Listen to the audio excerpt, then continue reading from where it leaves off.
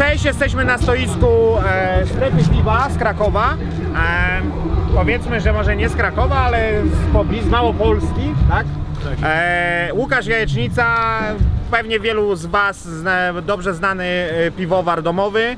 Od e, niedawna, od miesiąca, od dwóch, tak? Już miesiąca. od miesiąca już oficjalnie, legalnie z e, prawda, urzędem celnym za, zaaprobowany piwowar rzemieślniczy Browar Podgórz e, w logo Łowiecka, e, bo browar jest na Podhalu prawie tak, No nie, na Podhalu dokładnie. ale ale już górale jakby ten, tak? No tak, no bo górale sięgają troszkę dalej niż samo Podhale, nie? No ja masz taki tak. z geografii nie jestem dobry. No to jest skomplikowany temat, szkoda czasu. Szkoda czasu, dobra. E, ale browar jest e, w okolicach Rabki, a konkretnie w Bielance. Bielanka.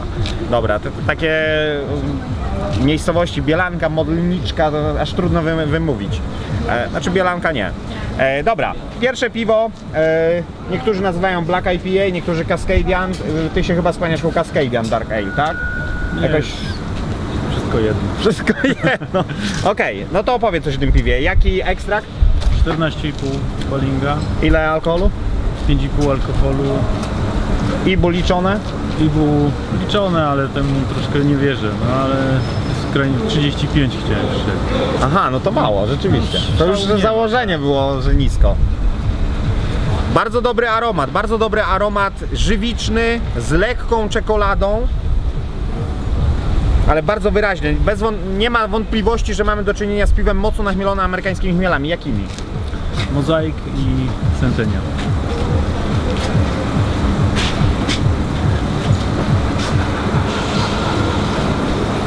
Sporo się nasłuchałem wczoraj o tym piwie, że takie super. E, co prawda Łukasz od razu jakby się zastrzegał, że no nie w moim guście, że na pewno będzie dla mnie za mało e, goryczkowe. Poczekam do trzeciego łyka z oceną goryczki. Natomiast jest wytrawne. Jakieś opowieści słyszałem wczoraj, że jest słodkie. No to, to, to, to, to akurat tu- tutaj nie można powiedzieć. Jest wytrawne, jest dobrze dofermentowane. Nie ma tutaj mowy o jakimś nadmiernej słodkości. Jest dobre, mm, dobre takie tło czekoladowe, ale rzeczywiście uniknąłeś tej paloności, nie? Czyli to, ta taka idea, żeby to nie był kolejny stout nachmielony amerykańskimi piwami, to się udało w 100%, bo jest bardzo gładkie, jest czuć te ciemne słody, ale nie ma absolutnie żadnej paloności, żadnej ostrości. Eee, jeżeli chodzi o goryczkę, no rzeczywiście jest mało, ale no nie, nie że to nie da się wypić, no. No, gratuluję. Bardzo dobre Dziękuję. piwo. Na pewno bardzo dobry debiut. Były gorsze debiuty, a browary sobie dzisiaj świetnie radzą, więc myślę, że jak zaczynasz z takim de- debiutem, to też będzie świetnie. Jakie następne piwo już uważone, czy dopiero będzie? No już jest uważone. Jest e, taki bursztynowy ale. Przypuszczam, e, przypuszczam, że goryczka gdyby była liczona w kopyrach, to ten też by było nie, niewielka. ale, ale nie powiem, że taki start jednak umiarkowany. Bałem się wchodzić na jakieś takie ekstremalne No ale wiesz, niektórzy mówią, że właśnie odwrotnie, że jak się dowali, to się wszystko ukryje, wszystkie błędy, wszystkie, wszystkie potknięcia. No tak, no ale piwo też, też ma mi smakować. O, oczywiście, to jest, to jest e, chyba naj, najbardziej e, dla mnie wyznacznik tego, czy ktoś jest rzeczywiście tym rzemieślnikiem i ma podejście takie, że waży to, co mi się smakuje, jakie sam bym chciał pić piwo, czy waży pod rynek, nie? Także jak ktoś nie jest fanem mocno goryczkowych piw, nie powinien ważyć mocno goryczkowych piw. Z drugiej strony muszę powiedzieć, że e, niektórzy już zaczynają narzekać na to przesycenie tą goryczką, więc jak najbardziej jest na to miejsce.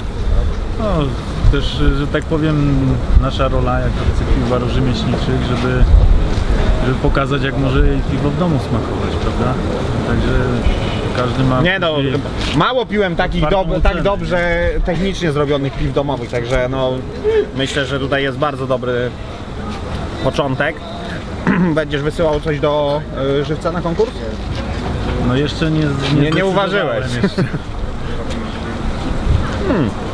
Jeszcze trochę czasu jest, coś możesz wysłać. Być może, no być może. Zamykasz się jakby na górną fermentację, czy będziesz, bo wiem, że e, w ogóle e, Łukasz jest specjalistą od porterów bałtyckich, dwukrotnie czy więcej nawet wygrał e, pierwsze miejsce w kategorii porter bałtycki, raz w Żywcu, raz w Cieszynie. Generalnie mm, browary rzemieślnicze raczej się za portery nie biorą, dlatego że to nie jest prosty technologicznie do zrobienia styl piwa, no i trzeba długo leżakować, a niestety to jest jeden z najcenniejszych zasobów browarów, czyli możliwości i sprzęt. E, Podtrzymanie 3 miesiące piwa w e, tanku to jest fanaberia już trochę. Znaczy ja myślę tak, że, mm, że tak powiem wizja tego portera gdzieś tam daleko w głowie jest. Przypuszczam, że łatwo nie zniknie, no bo mm, no bo to taki mój, można powiedzieć, ulubiony, Miłość. ulubiony styl. No. Chyba ze względu na to, że te sukcesy były, to też, nie? Ale z drugiej strony, jak się otwiera takiego dwutrzyletniego portera, no to jest satysfakcja niesamowita. A powiedz mi jeszcze technicznie o browarze, to znaczy jakie jest wybicie, ile tanków, jakiej pojemności? E, Galaktyka Piwnik powstała w ilości 18 hektolitrów. Bo to, to, to, Mocy- tak się nazywa? Galaktyka jak? Galaktyka Piwniks. Galaktyka Piwnic? Piwniks. Piwniks. Aha. A to jakieś ma uzasadnienie ta nazwa? Takie uzasadnienie, że mam je śmieszyć. No trochę jest śmieszące, takie trochę nawiązanie dla mnie dla, do takich początkowych firm w latach 90., które się otwierały i jakiś ziutek, złomek i tego typu rzeczy, tak mi się to kojarzy. Tak się, dobre no, skojarzenie? Dziękuję, tak, dziękuję. Tak.